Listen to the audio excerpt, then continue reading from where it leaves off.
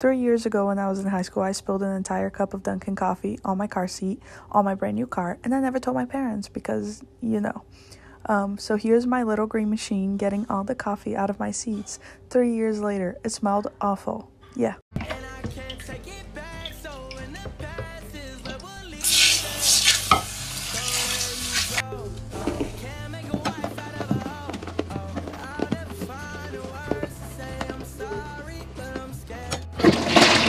Showing what we find at the bottom while cleaning out the 10,000 block foam pit.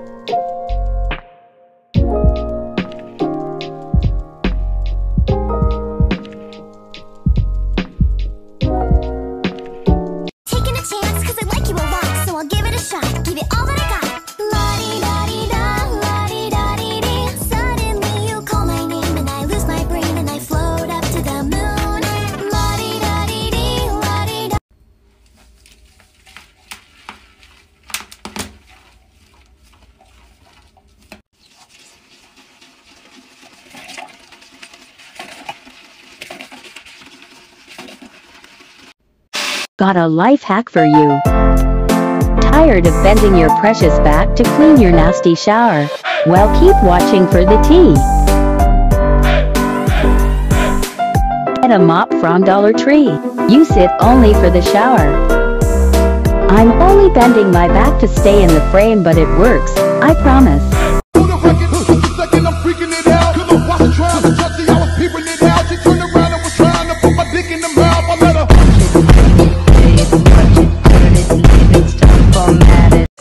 An at-home lash lift, so I'm going to try it out. So this is my eyelashes before, and I'm just using the cleanser.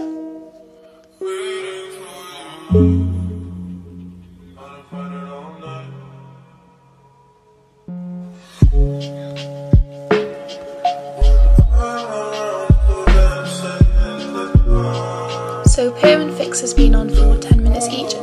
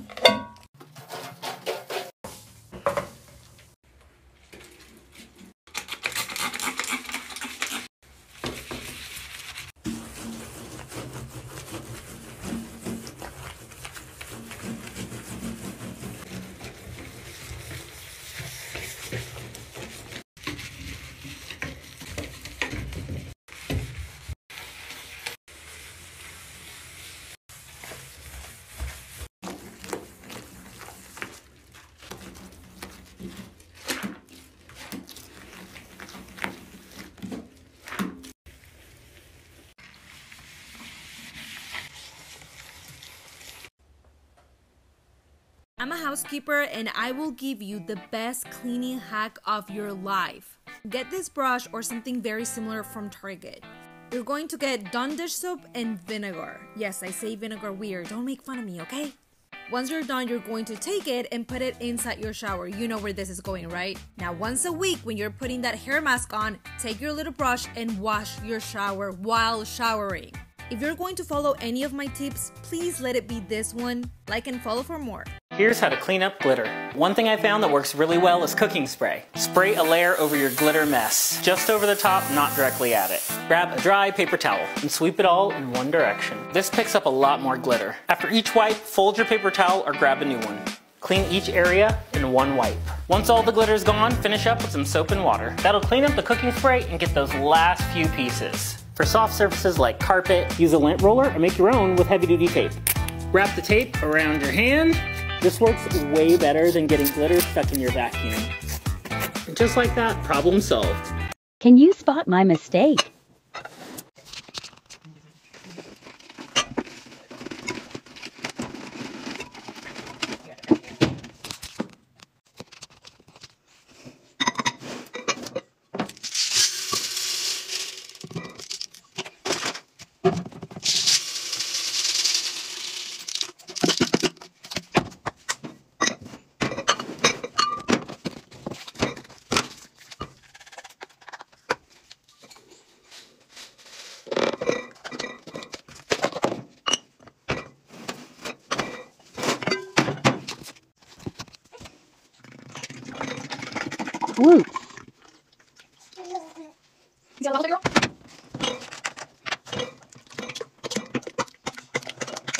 Tip, make sure the valve is shut. I guess I'll have to make a part 3.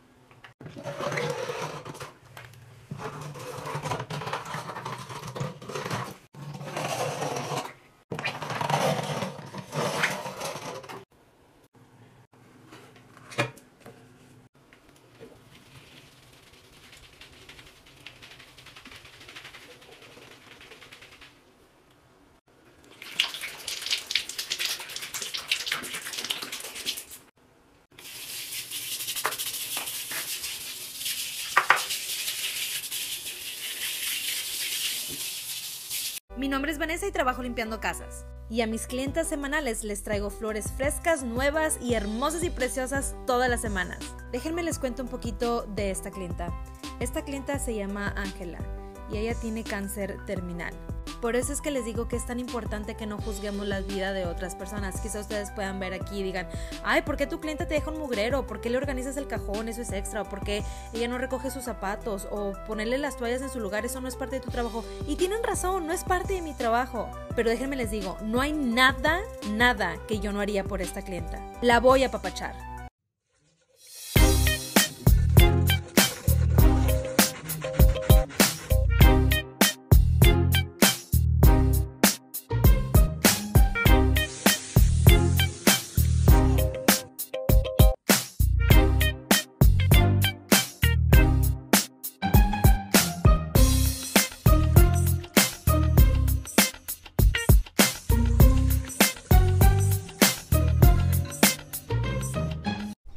Alright, this is probably the worst hot tub I've had to work on.